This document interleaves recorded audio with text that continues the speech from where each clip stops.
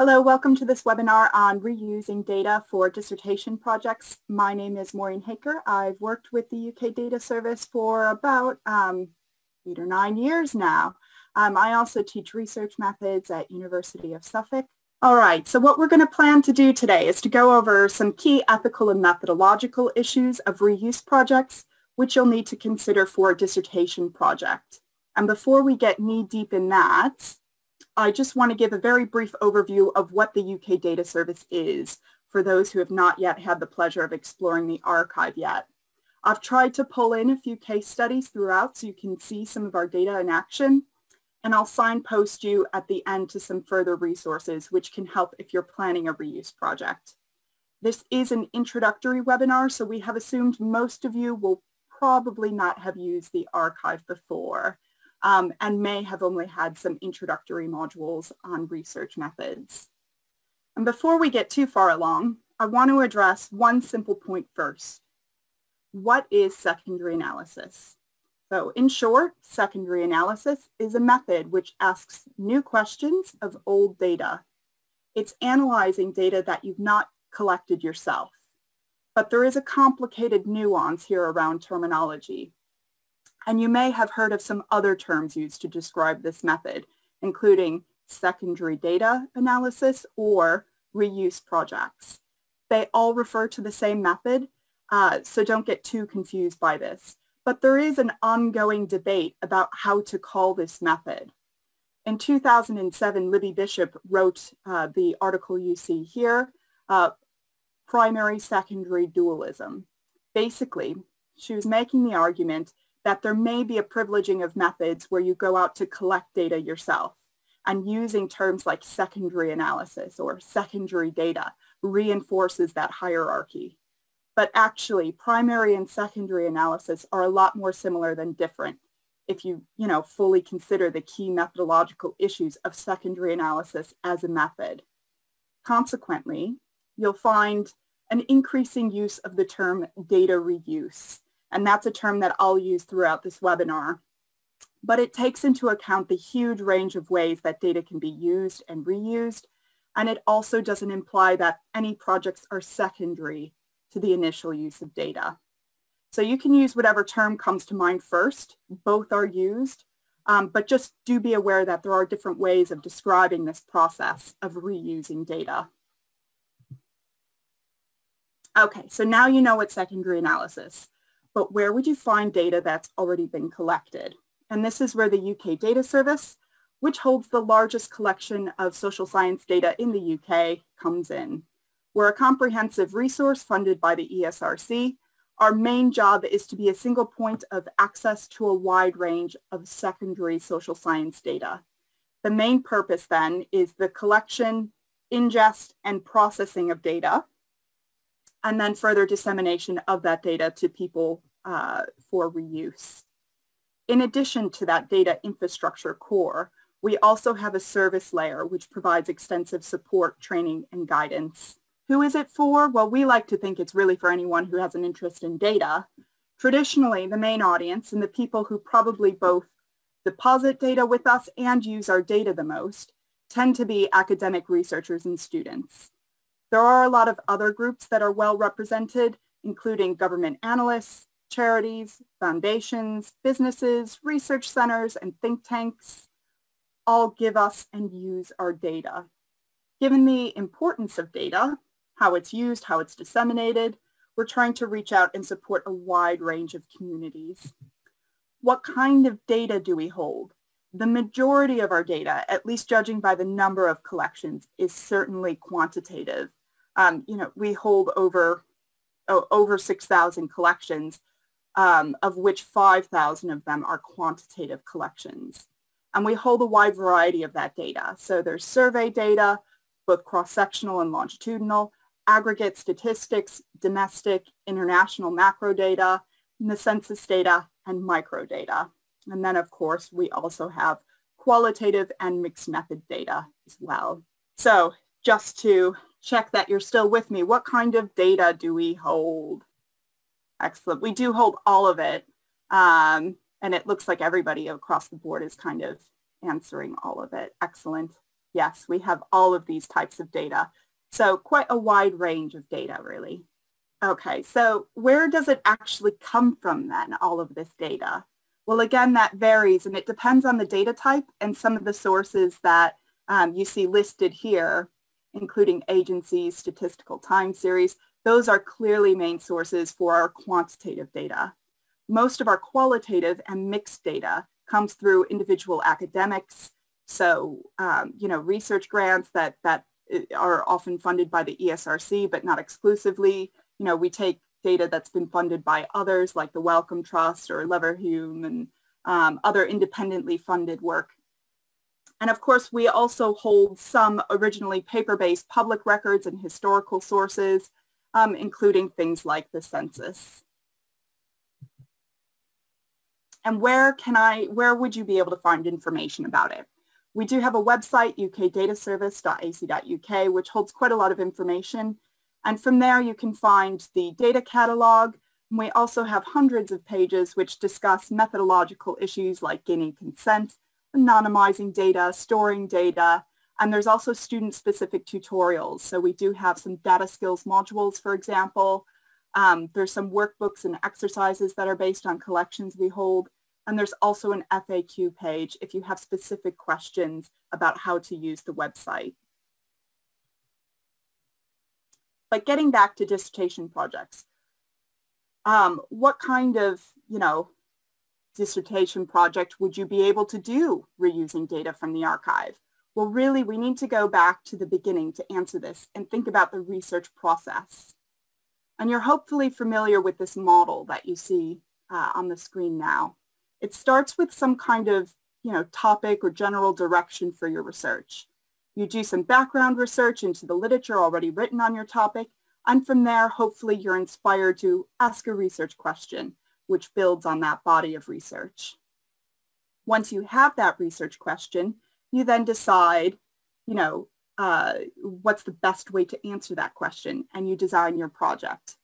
And once you've settled on your method, you then actually go out and collect the data, analyze it, and begin your write-up which is, you know, uh, what you would submit for your dissertation. Now, there may be a few extra steps there, or you may swap a couple of these steps depending on your theoretical foundation, but generally speaking, this is how we would normally think about the research process. When you're doing a project using secondary analysis, however, this process looks a little different. The model clearly shows how the research question is built from your chosen topic area, your preliminary search, uh, possibly the literature that you find. However, with secondary analysis project, the research question is derived directly from the data. So you would start with the topic you're interested in, but instead of looking for the literature, you would look for the data and start evaluating questions, uh, start evaluating collections, you might be able to hear my dog getting quite excited now. There might be the postman walking by, so apologies if you can hear her barking. When you do find a collection that intrigues you, you then ask a question, a research question of that data. And from there, you would then go on to find what literature exists on that question. You then would not need to collect the data, you just need to access it, which is, of course, one of the key advantages of secondary analysis. The data is already collected. You just need to get your hands on it, either by downloading it from the catalog page, or you may need to go into the archive if it's only available in paper form. Increasingly, that's, that's not the case. Most data that we get now is in, already in a digital form. Once you have it, you then analyze it and write up your dissertation. So the key I'm trying to make here is around reusing data for dissertation projects is around, you know, where your research question comes from. It would take a lot of time and inside knowledge about the data that's held in the archives in order to be able to come up with a research question and then search for the perfect data to answer it. You'd be searching for the right data for a really long time unless, as I said before, you've got really good knowledge about what collections are already held by the archive. For a dissertation project, when your time and resources are limited, You'll want to look for the data first, and then from there develop a research question which gives a new take on that data.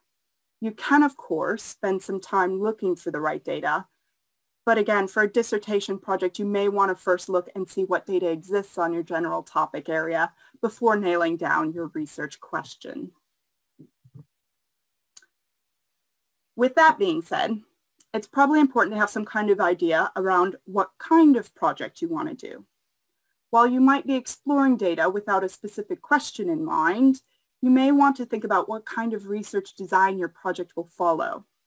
And there's four types of reuse projects that will lend themselves well to dissertation projects. Reanalysis, replication study, comparative study, and re-study. So reanalysis is, is probably the one that comes to mind when thinking about what secondary analysis is. And this involves thinking about the wide range of approaches you can take in the analysis of a data set. It usually means asking some kind of different research question than what the original researchers were trying to do. So for example, Clive Seale and Charteris Black did a study using comparative keyword analysis of, of illness narratives. Now the original illness narratives had looked exclusively for health research. So the interviews were meant to explore how diagnoses were made when Seale and Charteris Black came along uh, to do the comparative keyword analysis, they were much more interested in an analysis of the discussions between patients and doctors rather than the actual health issues that came up in the interviews. So the question can be very different in that sort of way. Or sometimes the question can be on a similar topic to the original research, but have a slightly different focus. So for example, Joanna Bornat looked at gerontology as a topic, and she found two different data sets that looked specifically at this topic. However, Bornat's research question was on racism, which wasn't the focus of the original work, but the data set was rich enough to allow her to explore this theme within the existing data. If you want to use the exact same analysis strategy, that would be a replication study, and that's also possible. So right now there's, there is some concern over the reproducibility of research and replication studies can reveal the messiness that's involved in working through data. One of the most famous or um, infamous really examples of replication is from Thomas Herndon, who is a postgraduate student at University of Massachusetts. He was assigned an assessment to replicate the results from a published study. So he chose Reinhart and Rogoff's 2010 paper, growth in the time of debt. Basically, this paper came up with the proportion at which your national debt can be of your GDP before you see negative economic growth. Thomas Herndon pulled the OECD data to rerun the analysis as the paper had laid out, but he got a completely different answer. The paper published said that debt cannot exceed 90% of GDP. However, he calculated that the debt can actually exceed your GDP. And even then, it's only a minimal impact on economic growth. So after contacting the original investigators, he found a flaw in their data set where basically they had miscopied some of their cells.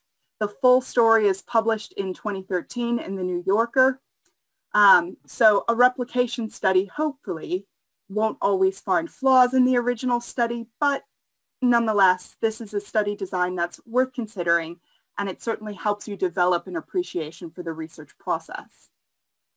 You could even develop a project where you would rerun a series of studies on the same topic, or you explore a complicated data set with missing data, transforming variables, and so on.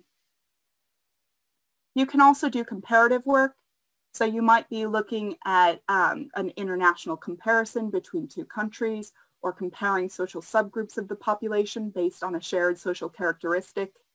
Our key data page for quantitative data sets outlines some of our large national surveys held at the archive, any of which would allow you to do some kind of comparative work without having to collect two sets of data. Um, you could compare samples across time, geographic place, gender, ethnicity, um, these characteristics are usually collected as standard for these larger surveys. The final type of reuse um, is exemplified by a case study that I'll go through with you now. And this, this case is a restudy.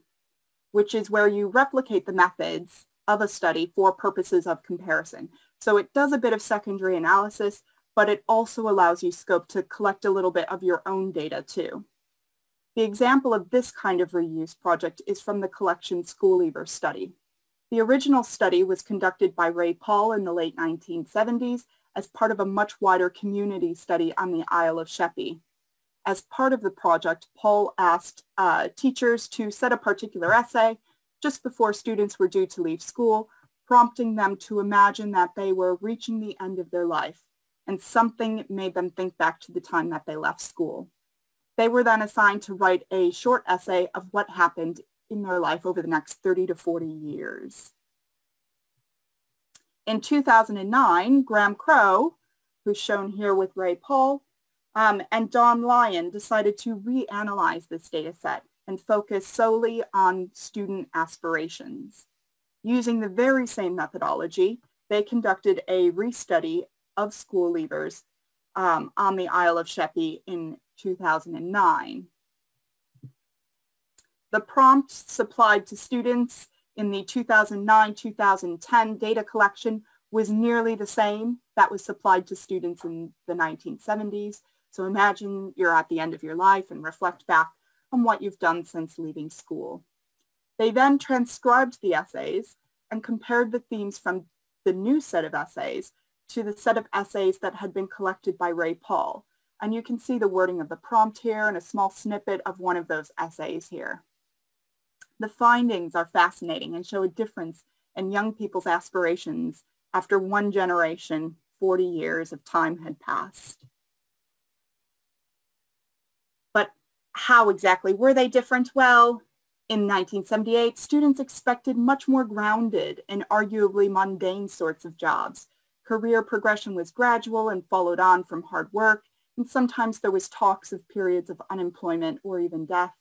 Um, you can see a few examples in the left column of some of the quotations from those essays, such as the one at the bottom, I longed for something exciting and challenging, but yet again I had to settle for second best. I began working in a large clothes factory. The 2009-2010 essays, however, showed students imagining well-paid and instantaneous jobs filled with choice, but also with some uncertainty, um, Crow and his research team also noted a clear influence of celebrity culture in these essays. So for example, you have the quote at the bottom of a girl who writes, in my future, I want to become either a dance teacher, a hairdresser, or a professional show jumper horse rider. If I do become a dancer, my dream would be to dance for Beyonce or someone really famous. This study is a larger one um, than what might be realistic for a dissertation project. The goal was to engage the community alongside the research and find innovative ways of including participants in the research outputs. So as part of this initiative, they established the Living and Working on Sheppey website, which helps create a shared history and memory of what living on the Isle of Sheppey means for this community. While this would be an ambitious project, to say the least for a dissertation, it is nevertheless a good example of how you can combine a bit of data collection and data reuse into one project. And for those who are doing something like a PhD, this is certainly something you could consider for your projects.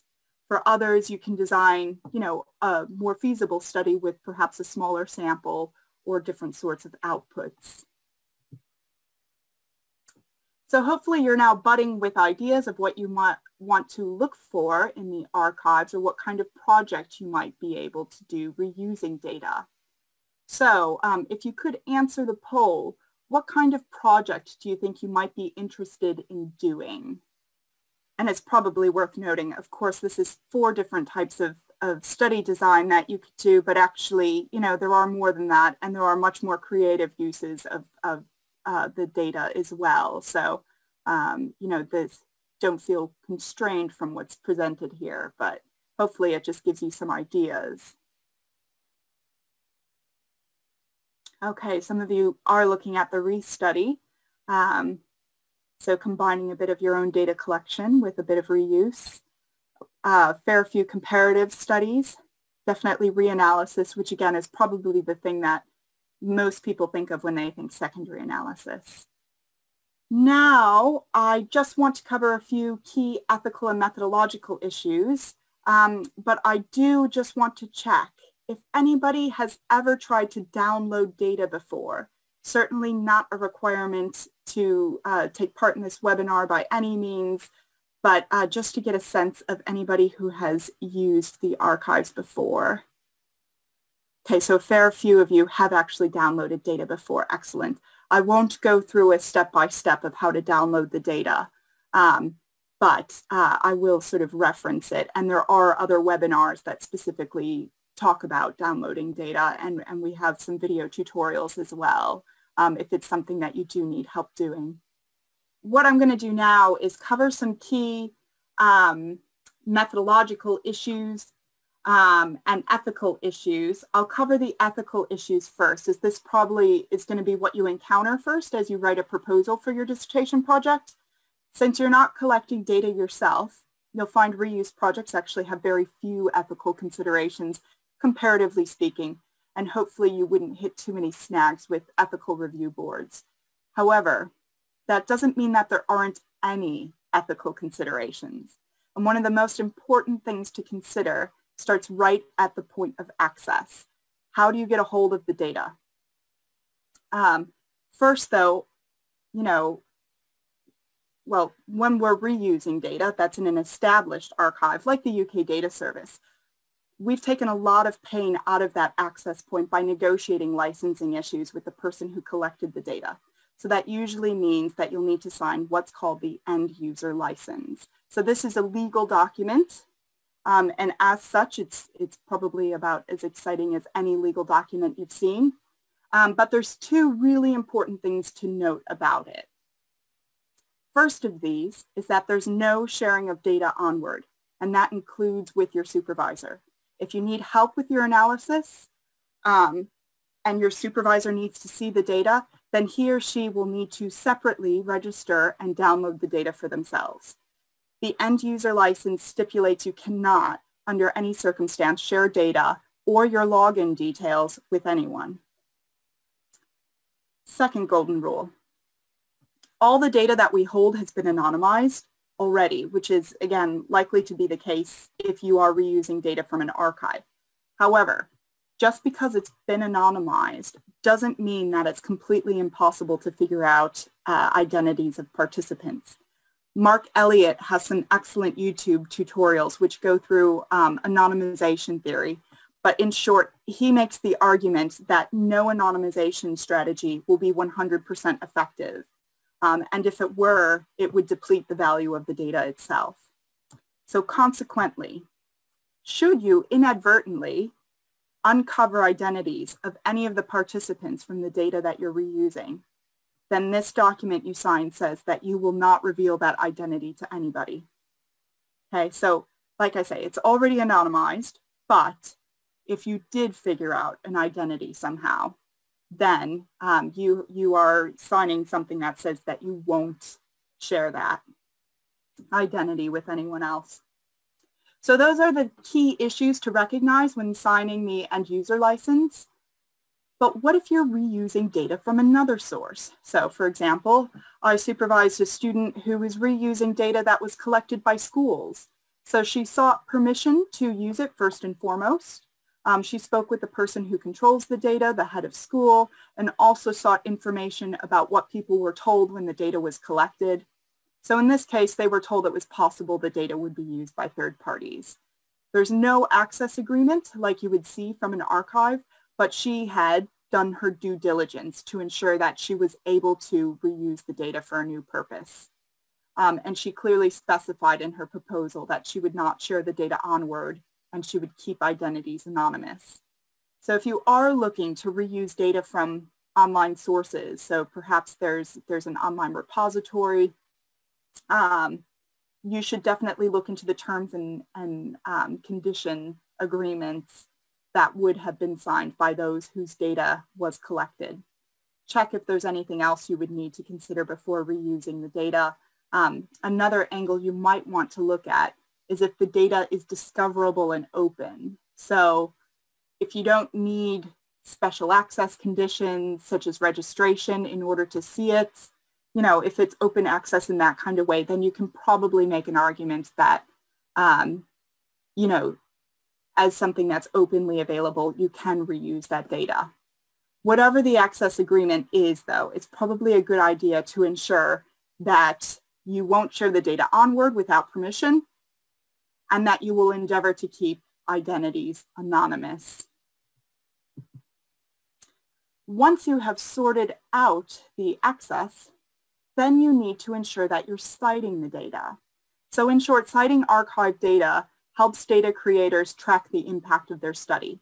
It also supports reproducibility, and it makes it easier to find the data you use for your project. The issue is so important that the UK Data Service actually has its own page on the website, which goes into a little bit more detail about data citation, and it will also help explain why it's an important ethical issue. With the UK Data Service, it's really easy um, to do data citation because you're already supplied with the citation that you need on the catalog page. So if you look at the catalog pages, you'll find a citation and copyright um, section, and you can literally just copy paste that. This is a little bit trickier when the data that you're reusing is not actually archived. Um, you won't have a preformed citation. Um, so for example, my student reusing the school data didn't have this sort of thing that she could just copy paste.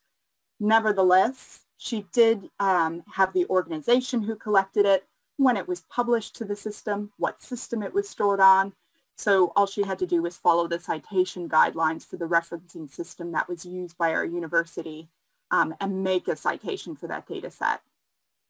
If you've pulled your data from online sources, again, you'll need to find out who collected the data, what year it was published online, um, and any URL or DOI that might help locate the data. And that citation would then end up in your reference list. So you've got access, you've sorted out your citation, now comes actually doing secondary analysis. And the first thing you need to do, whether you're reusing quantitative data or qualitative data, is to orient yourself to the project. And I think the main point to make here is to not underestimate the amount of time that it would take to get acquainted with the data set. There may be multiple levels of context to get through in order to really understand the data. And what I mean by that is you may have more than just the data that's collected at the time of the interview or the data collection um, to actually consider. You may need to start thinking about the basic social characteristics of the participants, perhaps the historical time period in which the data was collected, or perhaps the location where the data was actually collected. Um, so really the idea is that you need to understand the data set as a whole in order to really get at the root of what that data can convey. Every collection archived at the UK Data Service comes with some kind of documentation um, provided with the data set, and that is a really useful starting point for, um, for that. It often contains much more information about the methodology, such as, you know, it could have an interview schedule, it could have a call for participants, or sometimes it includes segments from publications arising from the original um, study, or I've also seen funding applications included. Sometimes, however, the documentation isn't always readily available. So for example, April Gallwey um, her research for her PhD explored identities of single mothers between 1945 and 1990, and she used the Millennium Memory Bank collection at the British Library.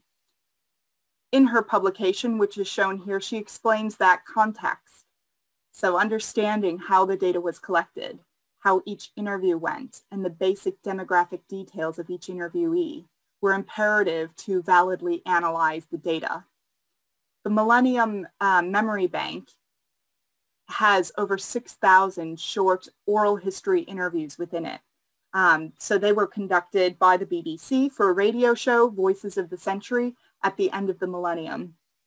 However, there was very little accompanying literature and no metadata. Um, and metadata is, is basically data which describes the interviewees and summarizes the interview.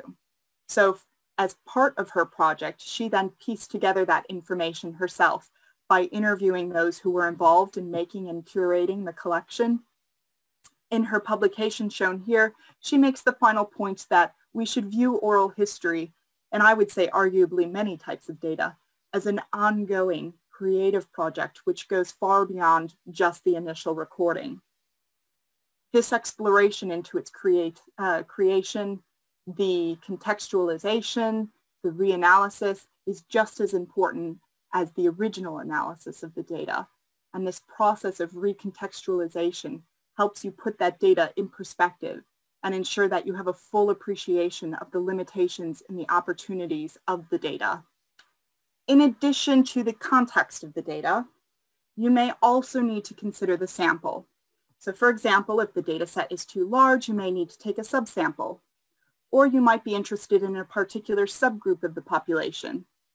The UK is really good at collecting data on its own population. So there's several longitudinal studies um, which regularly collect data from uh, a representative sample of the UK.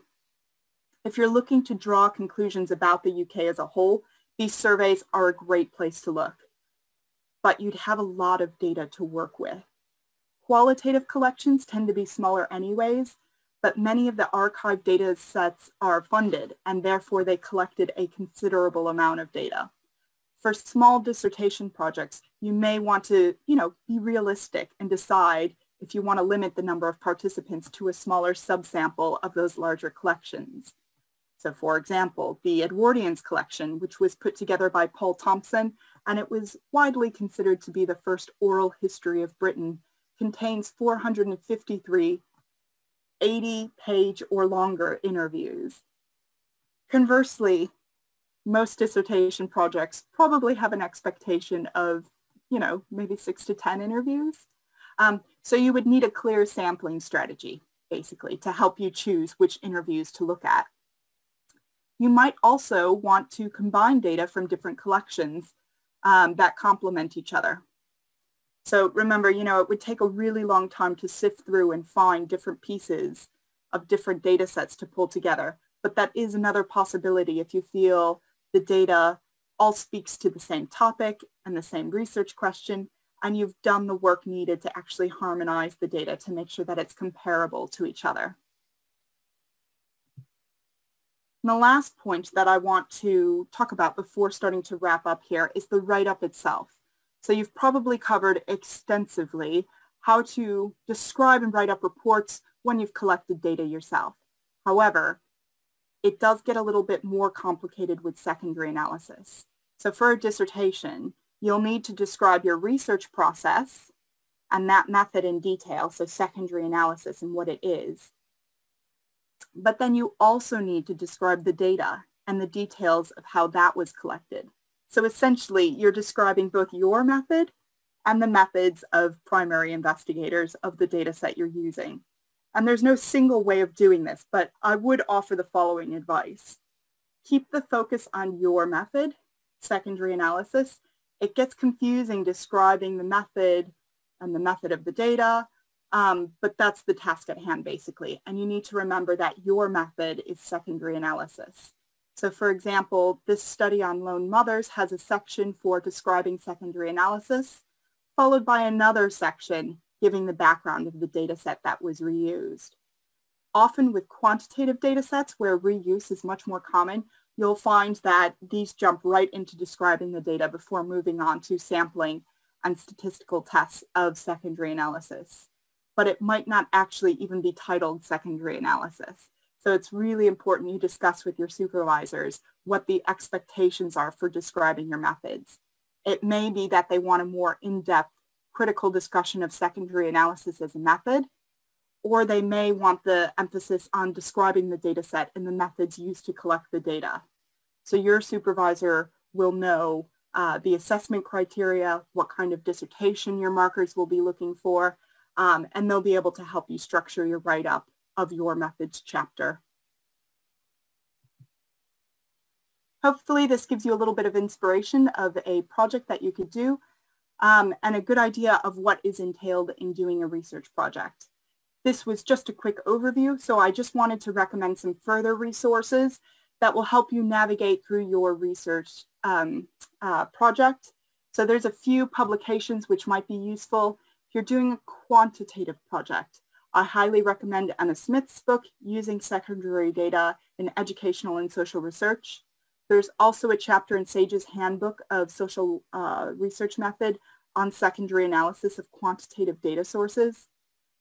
And we also have some data skills modules, which will help guide you through the steps of statistical analysis. For qualitative projects, there is a chapter in Silverman's Qualitative Research textbook on secondary analysis. And there's also a working paper series um, through the Timescapes archive. Karen Hughes and Anna Tarrant have also recently published a handbook of qualitative secondary analysis. Um, and finally, if you need more help with finding, accessing, or downloading data, then we have video tutorials which walk you through that process um, with step-by-step -step procedures.